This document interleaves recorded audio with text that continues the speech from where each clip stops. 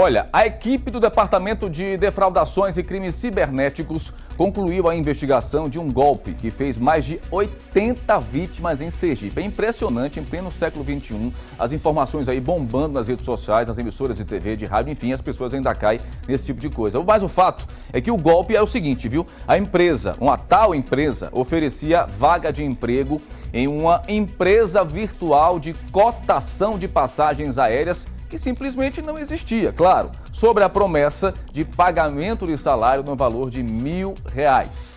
Para ser contratado, é aí onde vem o golpe, viu? O interessado teria que pagar uma taxinha mínima de 250 reais.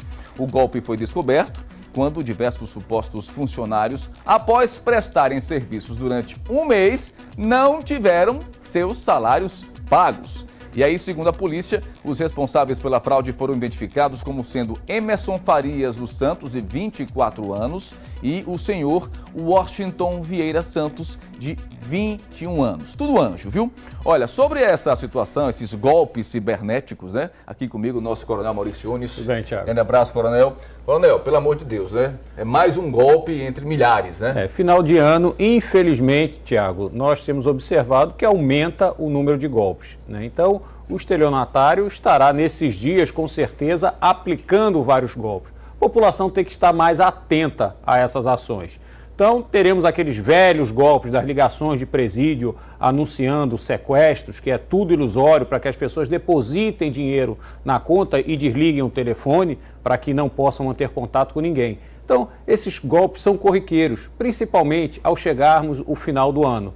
Precisam, lógica, esses meliantes se capitalizar e nada melhor do que aplicação de golpe. A população tem que estar esclarecida e entender que ninguém recebe nada de graça. A crise ela é grande, então não ninguém existe... vai bater na sua porta para oferecer. Não existe almoço grátis, né? Não existe almoço e não e existe olha, Papai Noel. Exatamente, né? Que as crianças não usam, não, não ouçam nesse, é momento, nesse momento, né? Mas olha, é o seguinte, se você está precisando de emprego, precisando de trabalho, a crise está aí para todo mundo, pega o currículo, meu amigo, bola, bota no, debaixo do braço. Tem o NAT, que é o serviço, né, o Núcleo de Apoio ao Trabalhador. Entregue tem, é, tem o para os estudantes também, CIE para os estudantes, enfim, bater na porta, correr atrás. É verdade, né? é verdade. Não podemos acreditar porque, infelizmente, os golpes estarão em maior evidência, principalmente nesse final e início de ano. Então, as pessoas têm que ter o máximo de cautela, não oferecer cartões para que ninguém possa sacar, não acreditar no velho golpe do cartão premiado, né? teremos o, o, os resultados nos finais de ano, né? de, de cena e tudo. Então não acreditem nesse golpe, porque tudo não passa de